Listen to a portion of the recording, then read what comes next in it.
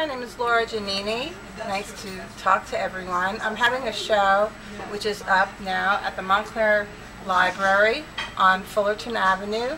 Um, I'm also having a reception for my show, and that will be um, July 11th from 6 to 9. I hope you can make it. I'll just give you a very quick overview that uh, when I'm working in, the mediums that I'm working in are photography and photo collage.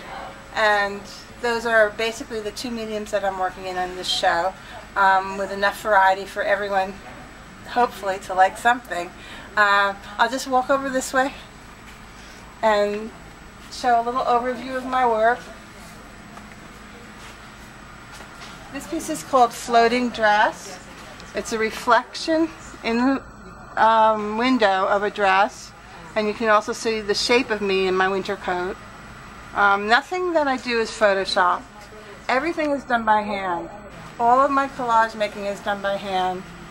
In this piece around the world, I've used coins and um, bits of uh, paper to show the circular nature of travel and going around the world and then landing finally at home.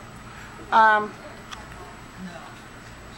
these are two more photo collages, the two white ones, uh, different images, and you can see a little bit of me sneaking out in the corner. And this is a friend of mine, Anita Moorhead, um, in her full dress. and this is my nephew, Antonio, and he's jumping for joy, throwing hay at me, and that's what I hope that you get, some joy from my pieces, and go home and throw hay up in the air. So come to my reception. Please come. July 11th, 6 to 9. I'll have cookies, and you can come and see the show. Thank you.